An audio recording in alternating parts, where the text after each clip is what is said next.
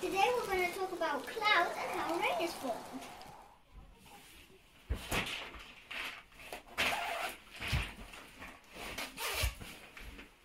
Let's begin. There are lots of different kinds of weather. It can be rainy, snowy, sunny, or windy. The three main things that make the weather happen are the sun, the air, and the water.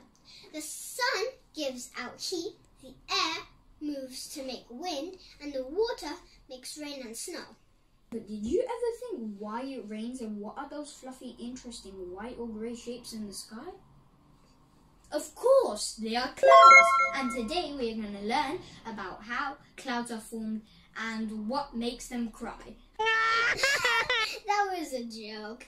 They don't cry, but they produce rain. So what are clouds? A cloud is a large group of tiny water droplets that we can see in the air.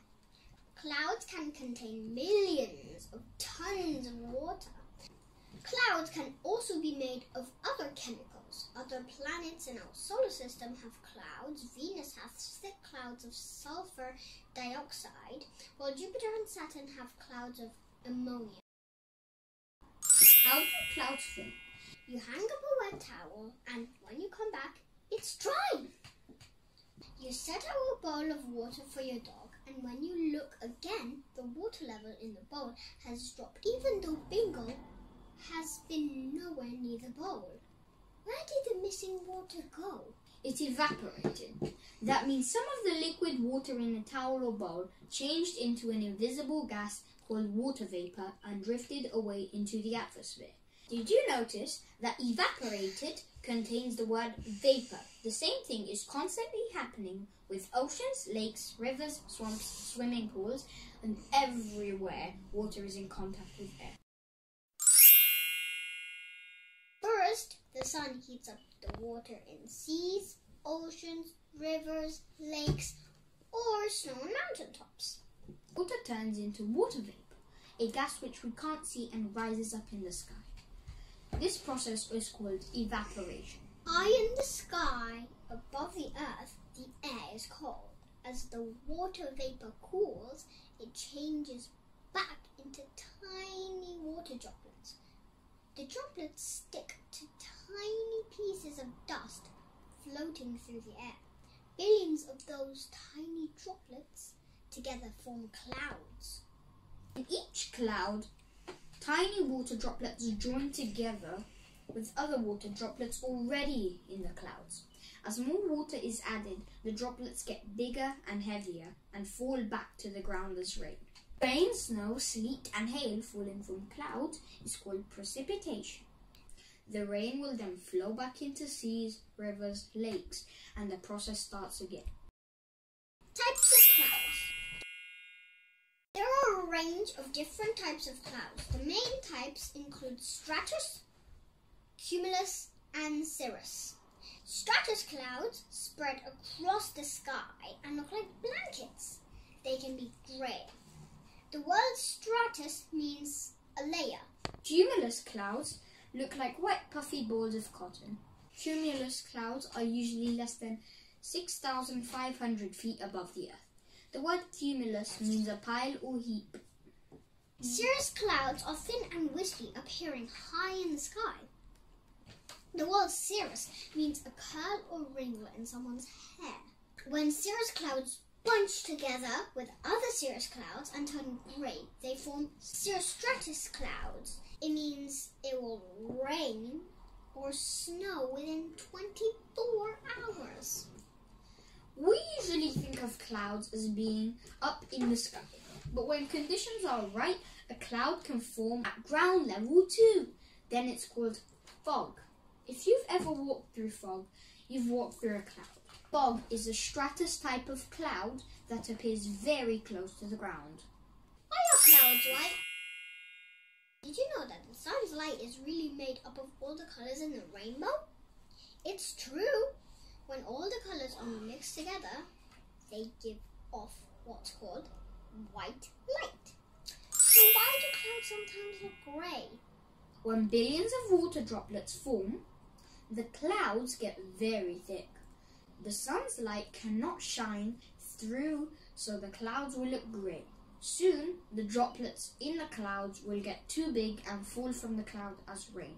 That's why we know when clouds are grey, it's gonna rain soon. I'm learning a lot today. I have a really easy water vapor experiment for you to do at home. Take a plastic cup and fill it with water. Use a marker to mark the water level. Place the cup in a window that gets lots of sun. Each day, watch the cup and mark the water line. Watch what happens to the water. You will notice the water level will get lower and lower. Why? Because the sun will turn the water into water vapor and it floats up into the sky. And now we're gonna try and make a cloud. Ooh, we're gonna try and make a cloud. In this fun science project for kids, you will make your own cloud. This science project is so easy to do. It only requires a few materials and doesn't take too long to do. For this experiment, we will need some blue food coloring, a spoon, some of my mummy's hairspray, a cup of warm water or a jar of warm water, a lid, and some ice cubes. First, we need to put the ice cubes in the lid because that represents the cold air The atmosphere. in the atmosphere. Then, put some blue food coloring. So you can see the cloud when it forms.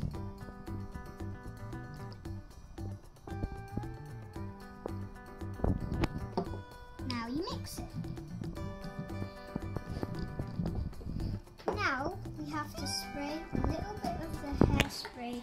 This process will have to be very quick. I'm gonna do the hairspray and Tomas will put the lid. Now let's see the clouds form. In our experiment, the warm water in the jar caused the air inside the jar to heat up.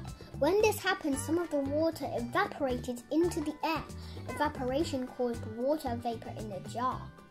Then the warm, moist air, water vapor, rose from the surface of the water to the top of the jar. Once it reached the top of the jar, the warm, moist air began to cool down. This is because of the ice that was on the lid. The water vapor in the cooling air then condensed onto the particles of the hairspray, forming a cloud in the jar. What happens when we lift this up? Let's see. Look close, take it off. Take it off. We just created a cloud. Isn't that the cool? cloud? That's so cool. Guys, did you like our little experiment? It was fun, wasn't it? I hope you enjoy our video. Don't forget to like and subscribe. Bye. Bye.